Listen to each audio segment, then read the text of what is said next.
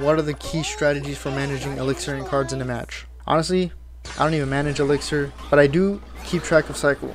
For example, if they have Evo Bomber, you gotta keep track of that. So if they play their Evo Bomber, in my mind, I usually have whenever there is a troop walking up the bridge, I hover a card on top of the river, like in the middle, like where I split my wall breakers before.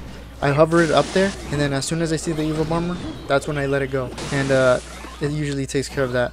That's an example.